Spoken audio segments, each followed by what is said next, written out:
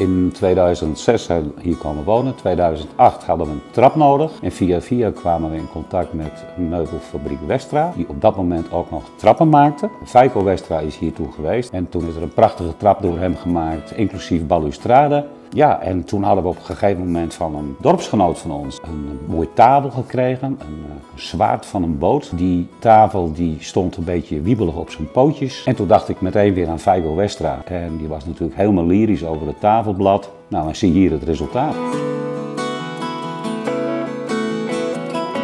Wat ik uh, plezierig vind aan Feiko Westra en zijn bedrijf is dat ze maatwerk leveren. De maatschappelijke functie die Feiko Westra ook met zijn bedrijf heeft in, in de regio, Burgum en omgeving. Dus als ik uh, bij mensen thuis kom of wat dan ook maar en we hebben het over uh, meubels et cetera, dan raad ik altijd Feiko Westra aan omdat ik er zelf hele goede ervaringen mee heb. Als er meubels gezocht worden en maatwerk gezocht wordt, is Feiko Westra het adres.